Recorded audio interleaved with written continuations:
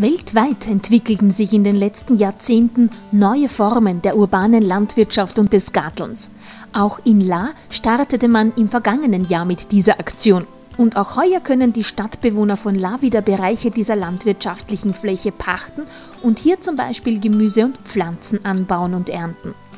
Dieses Projekt soll das selber machen und damit auch den Bezug zur Produktion von eigenen Lebensmitteln ermöglichen. In La gibt es einige tolle Abrufverkäufe mit den unterschiedlichsten regionalen Produkten. Das Urban Gardening könnte den Kreis schließen, fast ausschließlich heimische Produkte im eigenen Haushalt zu verwenden.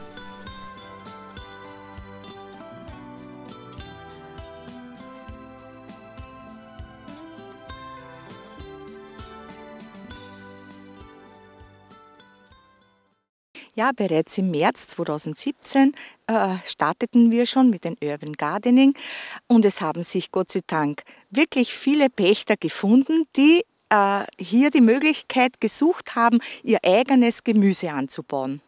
Und auch heuer wird diese Aktion wieder fortgesetzt. Ja, es haben sich schon die Vorpächter wieder gemeldet. Sie wollen wieder ihr gleiches Beet haben. Dem Wunsch äh, folgen wir natürlich sehr gerne. Und ich wünsche mir auch noch viele weitere Pächter, die sich gerne bei uns melden können, um im, im März wieder zu starten. Jetzt sieht man hier, das Feld äh, wird jetzt demnächst noch vorbereitet. Ja, Herr Oberndorfer wird bis zum Start, bis zum Gardeln alles vorbereiten, damit äh, dann wirklich angegadelt werden kann. Also diese äh, Parzellen, die werden wir im Frühjahr auspflückeln. Die werden 60 Quadratmeter sein, also 6 mal 10 in etwa. Und diese kosten für das ganze Jahr 30 Euro. Wann geht es jetzt los? Wann kann man sich bei euch melden?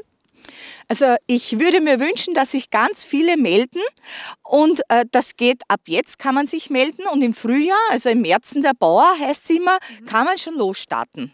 Äh, es werden auch hier Wassertanks aufgestellt, damit die Möglichkeit zum Gießen besteht und eben ein Gartenhäuschen, wo die ganzen Werkzeuge eingesperrt werden können. Die Pächter können sich beim Gemeinderat Obendorfer, beim Herrn Stadtrat Schäfer oder eben bei mir melden. Sie können dann im Frühjahr, sobald es eben hergerichtet ist, beginnen. Also es ist natürlich vom Vorteil, nur einjährige Sachen anzupflanzen, wie Salat, äh, Paradeiser, Kartoffeln und so weiter. Also wie Erdbeeren oder so oder Riebisseln, das geht natürlich nicht, weil wir sind ja im Herbst, wenn alles geerntet ist, wird ja alles wieder umgeackert. Und fürs nächste Jahr im Frühjahr dann wieder vorbereitet. Generell ist es aber auch so, dass nicht nur Wohnungsbesitzer, sondern auch Hausbesitzer sich melden können und hier äh, etwas anmieten können. Ja, freilich, viele Hausbesitzer haben zwar einen eigenen Garten, aber möchten das Gemüsebeet nicht im eigenen Garten haben, weil sie eben eine schöne Wiese haben wollen. Und daher ist hier die Möglichkeit gegeben.